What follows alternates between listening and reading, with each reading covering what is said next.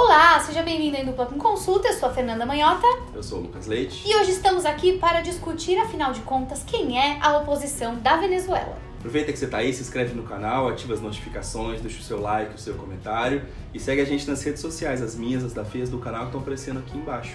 Muito bem, e para falar deste assunto, hoje temos uma convidada especial que volta a esta casa, né? Já esteve aqui conosco, a Carol, Carol Pedroso. Eu vou pedir para ela se apresentar, né? Embora vários de vocês que acompanham o canal há mais tempo já devem, né, ter visto a Carol antes. Para quem não viu, de cara, já deixo o card aqui para você. Depois desse vídeo, clica lá. Ela já esteve aqui, é uma das referências no Brasil quando o assunto é Venezuela. É uma amiga muito querida. E bom, Carol, de novo, seja bem-vinda, a casa é sempre sua. Obrigada. Muito bom. E, bom, aproveitando que talvez alguns não te conheçam ainda, né, os seguidores mais recentes, queria pedir para você se apresentar, falar um pouquinho de como você chegou, né, a, a esse objeto de estudo, enfim. Bom, primeiro agradecer o convite novamente, é muito bom estar aqui. É, eu sou formada em RI, mestrado e doutorado também, assim como a Fê, a gente tem esse, esse sangue puro, né, que você falou. É, é o, também. é o Lucas também, é o sangue puro das RI. Você falou sangue puro também? Não, essa é a. Fernanda. É, essa- essa é- eu sou é. o Sonserina, mas ela falou sangue puro, tá vendo? ó? É Eu sangue puro. Sonserina, né? Exatamente, Então, ó, tudo aqui, ó, é sangue puro das RI e a gente tem a fixação com o país, né? a gente fixou nos Estados Unidos, ela fixou na Venezuela, entendeu? Exatamente. Que foi um, um tema que me chamou atenção desde a época da graduação. Na época o presidente era Hugo Chávez, então é uma figura super polêmica. Eu queria entender mais quem era aquela pessoa, quem era aquele país, quem eram aqueles movimentos que aconteciam lá. Então desde então eu tenho me dedicado a estudar a Venezuela. É, agora Tema fácil, tranquilo, Não, né? super, né? Assim, as Nada pessoas- acontece, né? Todo mundo tem uma opinião sobre, né? A Venezuela tem esse, essa particularidade. Você imagina passar o Natal na casa da Carol. Você imagina ser tio da Carol. A Como é- sorte é que a família da Carol é muito legal, que eu já sei. É, E é. todo mundo é mais tranquilo e é cheio de pesquisador, não é isso? Aí, Sim. aleluia, Deus sabe o que faz, né? Todos são É. doutores. Pai, mãe, sogro, sogra, tá, tá tudo certo. Aí, ó, tudo bem, então um alívio, respiramos aliviados. Porque, né, de- depois que você vira, assim, um acadêmico, ou que É. você estuda algum tema mais em profundidade, você vira o respondedor de quiz, né, Ah, nos eventos familiares. E a Guerra Mundial? Aí a Carol me chega falando que estudou Venezuela, nessa época da vida. E o né? contatinho que chega no, no date e começa a perguntar: Mas e aí? E conta mais, o que, que vai acontecer? Nossa, Luca, vai tá- É, realmente, agora não rola. Não, vamos falar, de- vamos falar de série, diva pop. É, Vamos falar de série? Série, começa com S. Série, Sonserino. Sonserina. Mas enfim, tô causando na apresentação da Carol. Vai, Carol, desculpa. Não, mas é que além da pesquisa, assim como os dois, eu também sou professora de Relações Internacionais e coordeno o curso da Universidade de Ribeirão Preto. Aí o pessoal da UnaERP que tá por aí, deixa um comentário, seu aí, like. Dá uma prestigiada aqui na Carol, gente. Espalha aí no grupo do Zap da faculdade. Aí, gente, a Carol. Isso aí, gente. Depois no Instagram do Nepnesex.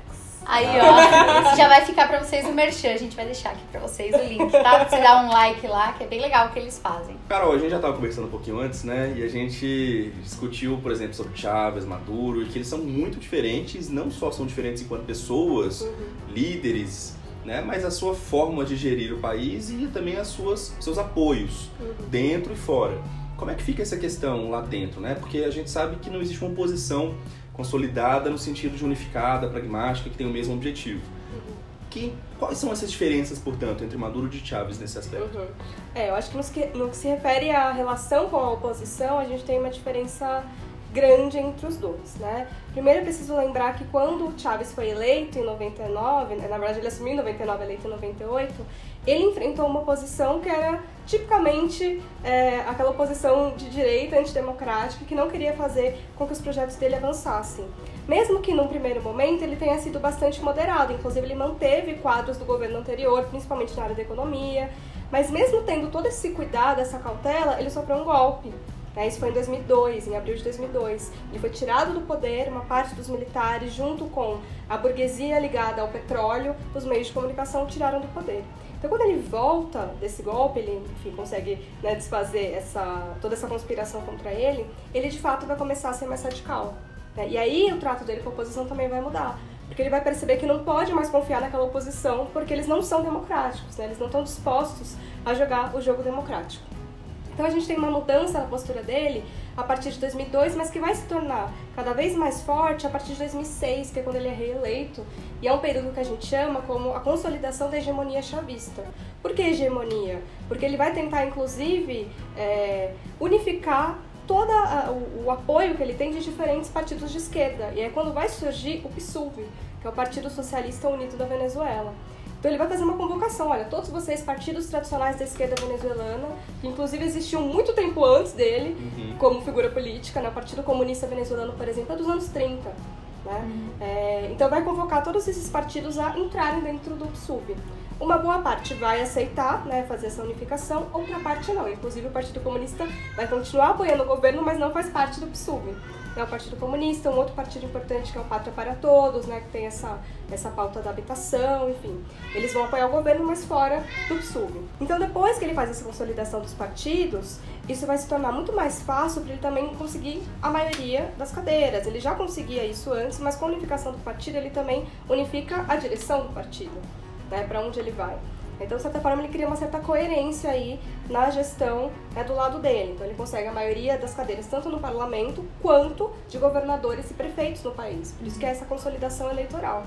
Por outro lado, aquela oposição tradicional que estava no poder fazia quatro décadas né, antes do Chávez ser eleito, ela não sabe bem para onde ela vai. Ela tá igual barata tonta, assim. Ela tomou um veneno novo que ela não sabia lidar com aquele veneno. Então, a oposição, os partidos tradicionais de oposição, não sabem muito bem para onde vão. Então, é nesse contexto, principalmente a partir do ano 2000, que vão surgir novos partidos. Esses novos partidos vão receber, sobretudo, o apoio norte-americano. A gente sabe que os Estados Unidos, vocês sabem até melhor do que eu, eles têm programas de financiamento à promoção democrática pelo mundo, que inclusive pode ser questionável, né, se, se realmente promove a democracia.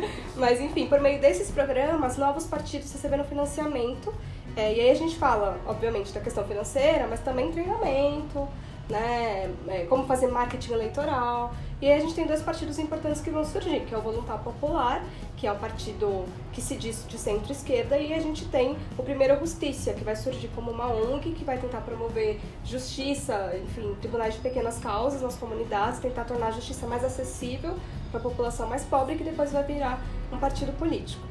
É, então, esses novos partidos vão estão no começo ainda, né? Então eles estão aprendendo a fazer política e eles só vão começar a ganhar de fato uma proeminência grande já no final do período do Chaves, que aí é quando o Chaves morre e entra o Maduro. E isso também vai marcar a diferença, porque quando o Maduro chega no poder, essa oposição nova, ela já sabe mais como jogar o jogo político da Venezuela, como fazer eleição, como fazer campanha. E a gente vai ter também um outro processo, que assim, o Hugo Chávez era um líder extremamente carismático que conseguia regimentar mesmo aqueles partidos que estavam fora do PSUV. Quando Maduro chega ao poder, ele não tem essa mesma capacidade. Né? Então, uma parte daqueles partidos que entraram no PSUV ou que ficaram de fora, mas que eram da coalizão governista, vão começar a se afastar, porque não confiam na figura do Maduro. Mesmo é, a base mais consolidada do chavismo, o chavismo começa a craquelar né, nesse momento da morte do Chávez, porque existia até a possibilidade de uma outra liderança, né, que era o Diosdado Cabello, que era uma liderança militar, né? O Maduro era uma liderança civil. Então se imaginava que o Maduro não ia ter essa capacidade até de lidar com as forças armadas, porque ele não era militar, enfim. Então ele lida com um cenário muito mais complicado, né? Tanto do lado do apoio quanto do lado da oposição. Isso vai fazer com que ele seja é, muito mais autoritário no, na, no momento de lidar com a oposição. Né? O Chávez teve alguns momentos ali né, em que ele, inclusive aqui no Brasil, era chamado de ditador, enfim. Mas quando a gente analisa as ações consideradas autoritárias do Chávez, elas eram bastante pontuais e não eram sistemáticas como acontece com o governo do Maduro. Tanto que as primeiras denúncias de tortura, de prisão política vão acontecer a partir do governo do Maduro não do governo do Chávez. Por isso que é importante fazer essa diferenciação. Isso também vai explicar por que a oposição ela vai se tornar muito mais complexa no governo do Maduro. Né? Então, de fato, do governo do Chávez a gente tinha uma certa homogeneidade ideológica né, em quem se opunha ao Chávez. Ao Maduro, não. Então a gente tem uma posição que é muito complexa, né? Depois a gente pode falar mais sobre isso, mas só para dar uma pincelada inicial. Bom, eu queria aproveitar né, que você estava falando sobre a cronologia do desenvolvimento dos partidos e como eles foram se reorganizando para fazer um estado da arte, assim, bem rapidinho, para quem não conhece a estrutura política venezuelana, uhum. em termos de como hoje né, se encontra é, esse sistema partidário. Então, se você pudesse explicar rapidamente, né, uhum. né, quantos partidos são, mais ou menos como eles se aglutinam, quem uhum. é o uhum. partido de quem, né? Uhum. Guaidó, que está no meio dessa confusão, a que grupo ele pertence, só para a uhum. gente poder avançar na sequência com essa análise que eu acho que vai ser bem importante. Uhum. É, a Venezuela é um, é um país multipartidário, né? Então, ela em, em determinado momento da história, antes do Chávez, era um sistema eleitoral dominado por dois partidos, então existiam outros, mas eles não tinham uma representatividade tão significativa, então era considerado um sistema bipartidário, uhum. né? Dois partidos se revezando no poder. A partir do Chávez isso muda, esse quadro muda. Né? Aqueles dois partidos tradicionais que eu falei que ficaram assim meio desnorteados quando o Chávez ascendeu, eles realmente não davam conta de representar a oposição ao Chávez. Então precisou surgir novas agremiações políticas. Então a partir do Chávez a gente tem o surgimento de muitos partidos. Eu não sei nem precisar quantos, porque são muitos. Né? A cada momento eles vão aumentando e vão se fragmentando também entre eles. Né? O próprio Voluntário Popular saiu de dentro do Primeiro Justiça, que são esses dois partidos mais jovens. Então, só para a gente localizar um pouco né, quem está assistindo, é, o Voluntário Popular é o partido do Leopoldo Lopes, que era aquele que estava preso, que conseguiu sair da cadeia. Né? Ele é o diretor do partido. É também o partido do Juan Guaidó, que é aquela figura que a gente não sabe exatamente o que ele é. Ele não é mais presidente da Assembleia Nacional, ele é só presidente de uma parte da Assembleia Nacional, mas ele também é o presidente da República encargado, né, a autoproclamação que foi feita em 2019, mas ele é uma figura que tem uma proeminência internacional, né, por conta desse avanço que ele fez aí de se autoproclamar presidente da República também, né, juntando os dois cargos. O Voluntário Popular, como eu falei, saiu de dentro do Primeiro Justiça. O Primeiro Justiça é o partido do Henrique Capriles, que foi o candidato que concorreu com Chaves em 2012, na última eleição que ele concorreu. Quase ganhou do Chaves, né? Mas Chaves ainda ganhou. E ele quase ganhou do Maduro em 2013. Que também é considerado uma figura muito importante da oposição e mais conciliatória, né? Ele sempre tenta ir pela via do diálogo, enfim. Quem faz parte desse partido é o Luiz Parra, que é essa figura que surgiu agora, né, no começo de 2020, porque ele foi eleito como presidente da Assembleia Nacional. Ele que está sendo acusado pela oposição de ter sido cooptado pelo governo. É, no ano passado, a gente teve um ano muito conturbado, né? 2019 foi muito conturbado na Venezuela, e um dos movimentos, eu acho que mais midiáticos foi a tentativa de entrada de ajuda humanitária pela fronteira, né? Que o Guaidó liderou, tentou dirigir o caminhão, enfim. Teve toda uma ação midiática, teve um show na fronteira com a Colômbia, um negócio bem, enfim, né? Que tentou ganhar um destaque importante. Só que depois disso surgiram muitas denúncias de que parte dessa ajuda humanitária foi desviada pela oposição, né? E uma das figuras que estaria envolvida aí nesse esquema de corrupção em relação à ajuda humanitária é Luiz Parra. Então, por isso que há essa, essa suspeita de que ele foi cooptado pelo governo em troca de não ser punido pela corrupção ligada a essa ajuda humanitária. Tá? A gente tem um outro, eu vou falar dos partidos mais importantes, assim, de cada espectro, digamos assim, uhum. né? Então, do centro, a gente tem esses dois, o Voluntário Popular e o Primeiro Justiça. O Voluntário Popular que se diz mais de centro-esquerda, mas se a gente for analisar, ele está mais próximo do liberalismo, né? É, o Primeiro Justiça é um partido que se diz liberal, de fato. A gente tem mais para a direita o Benta Venezuela, né, Venha Venezuela, que é liderado pela Maria Corina Machado, que é um partido bem radical, que desde o dia primeiro do governo do Maduro ele pede a saída via golpe, defende intervenção militar. E a gente tem esses partidos mais de esquerda que se se colocam contra o governo. Né? Então a gente tem o Pátria para Todos, o Partido Comunista da Venezuela e figuras importantes aí desses partidos que inclusive chegam a comparar o Maduro com Hitler. Né? Para vocês terem uma noção de como a gente não pode colocar em caixinhas que o Guaidó é a direita e o Maduro é a esquerda na Venezuela. Partidos de esquerda da Venezuela que são contra o governo e chamam ele de Hitler. É. Entendi. É um realmente um cenário muito simples e fácil de ser entendido. Bom, Carol, isso para muita gente vai soar surpreendente, né? Porque há uma tendência mesmo de, como você falou, trabalhar aí no sistema maniqueísta, né? Uhum. Se gosta do Maduro é uma coisa, se não gosta é outra coisa. E aí você está dizendo que ele carece de apoio, inclusive dentro da esquerda, né? E com todas essas restrições. Uhum. É, quais foram as pautas, né, que criaram essa cisão? Qual foi a história, né, que trouxe o Maduro até aqui? Enfrentando essa oposição dentro do próprio espectro, espectro político ao qual tecnicamente ele pertenceria. Uhum.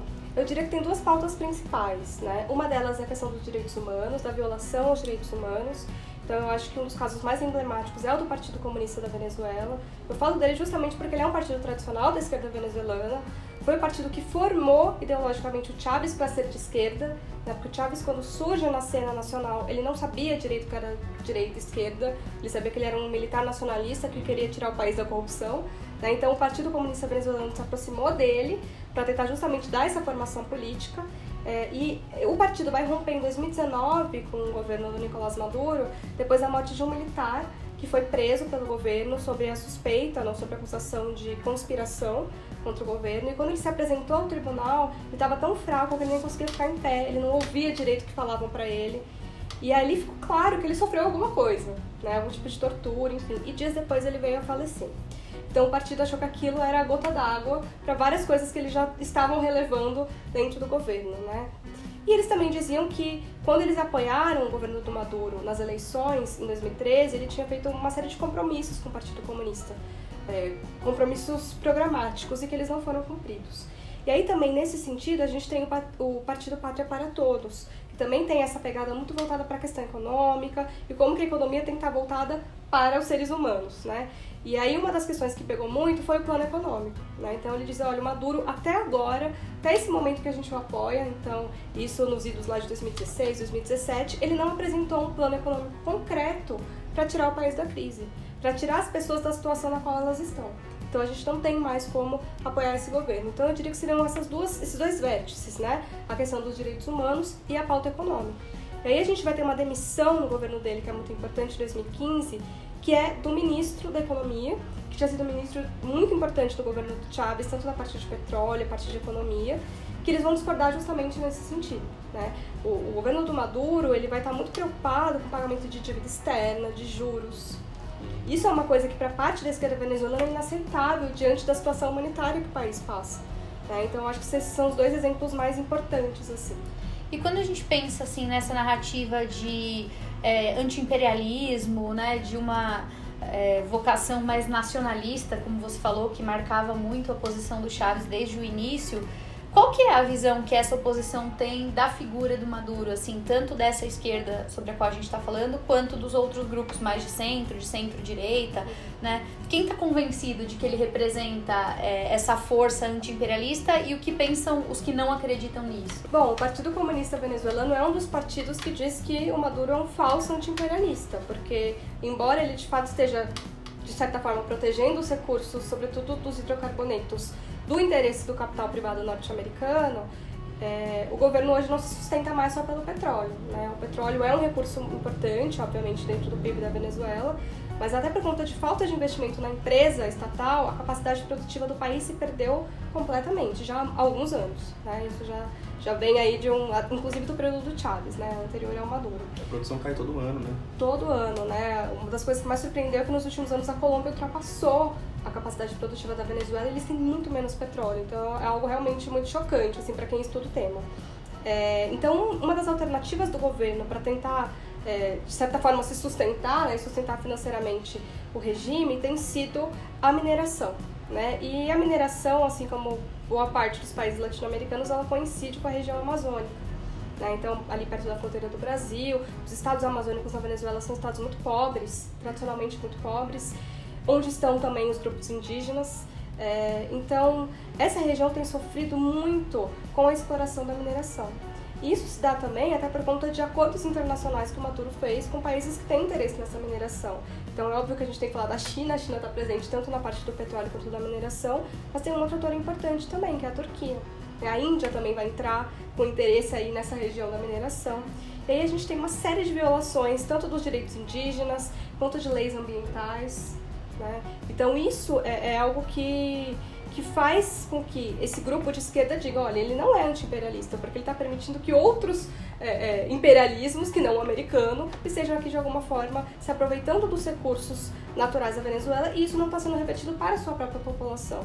Né? Quer dizer, se o governo da Venezuela se diz defensor dos próprios recursos para redistribuir isso para a população, isso não está acontecendo. Né? Então, agora, do outro lado, né? quem diz que o, que o Maduro é de fato anti-imperialista? Isso a gente percebe principalmente dentro do pensamento militar. O pensamento militar venezuelano ele tem uma peculiaridade em relação aos outros da América Latina, né? porque eles não tiveram uma ditadura militar como os outros países tiveram.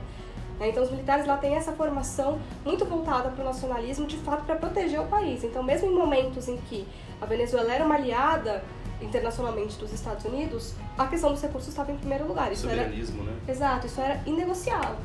Né? Então, parte dos militares, que mesmo que não gostam do Maduro ainda o apoia, entende que, apesar disso, ainda é melhor do que entregar para o capital privado norte-americano.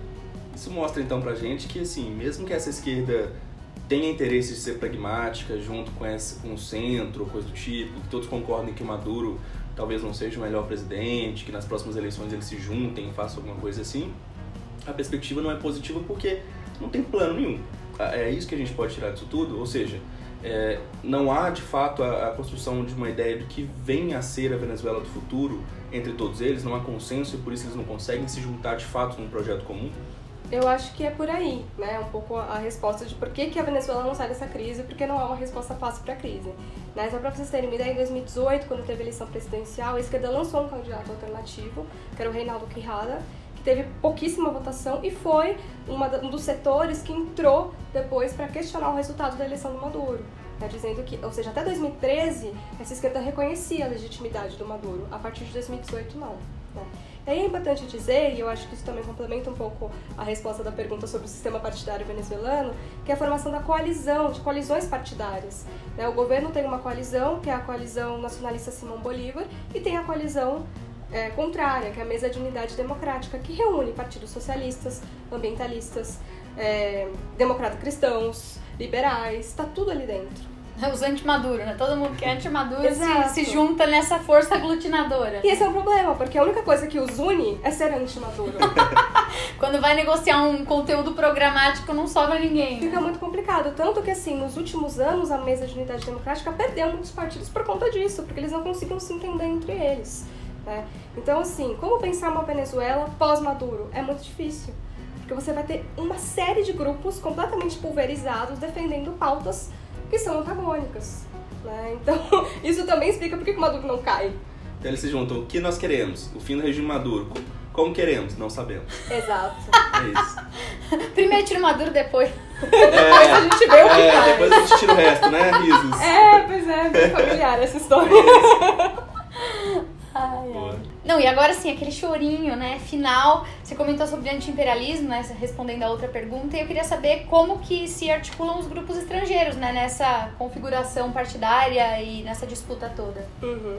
É, a gente tem, isso é até interessante porque isso também ressalta a diferença entre o Chávez e o Maduro, né? A gente tem uma primeira onda migratória de saída da Venezuela naquele momento do golpe em 2002, quando o Chávez se torna mais radical.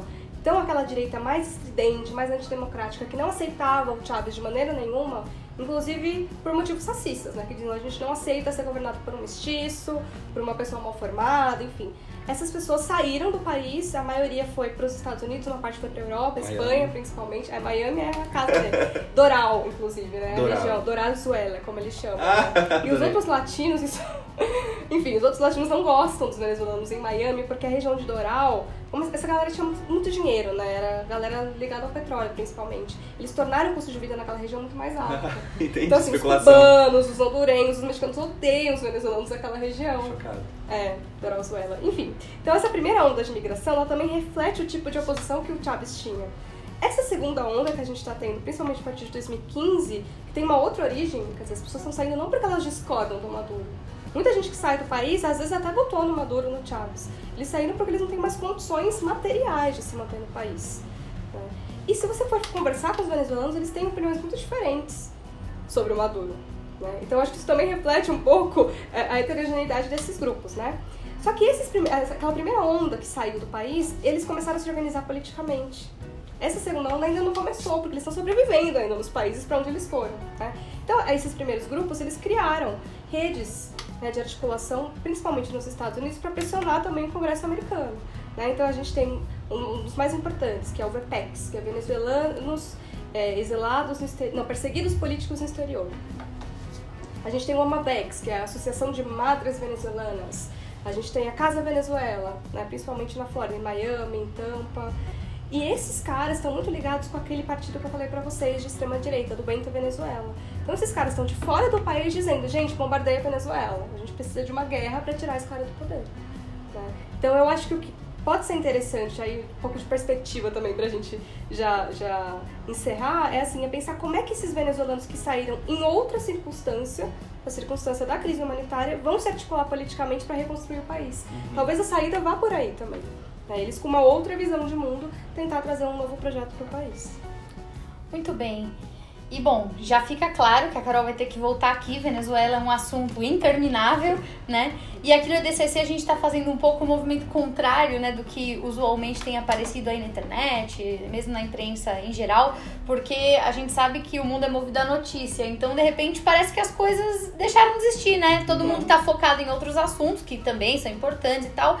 E assuntos que antes a gente estava acompanhando, de repente sumiram da pauta. É o caso da Venezuela. Uhum. A gente passou um tempão debatendo a, a, a, Venezuela como um tema central. De repente sumiu a Venezuela, ninguém mais fala disso. Dá a impressão que, assim, tudo Resolveu. lá foi resolvido. É, todo mundo tá né? dormindo, esperando o momento pra agir de novo. E aí, de repente, quando acontece um, um, novo episódio, né, a gente lembra que a Venezuela ainda tava lá em, em stand-by. É. Então, a, o EDCC voltou a esse tema, reconhece a importância desse tema, por isso a Carol voltou aqui também para nos é, brindar com a sua né, eloquência e o conhecimento que ela tem. Muito obrigada pela sua presença. Obrigado. Se você quer saber mais alguma coisa sobre Venezuela que a gente não falou aqui ou quer um vídeo para aprofundar algum tema, não esquece de usar a hashtag EDCC Responde. A gente sempre está monitorando a hashtag e atendendo aos pedidos que chegam por lá. Carol, muito obrigada. Obrigado, Carol. Foi ótimo. E não esqueça de seguir a gente nas redes sociais, vão aparecer aqui embaixo para você. Também ativa a notificação, clica naquele glorioso sininho, marca todas que o YouTube entrega para você por e-mail quando um vídeo novo for pro ar. Lembrando que os vídeos novos vão ao ar segundas e quintas às 18 horas.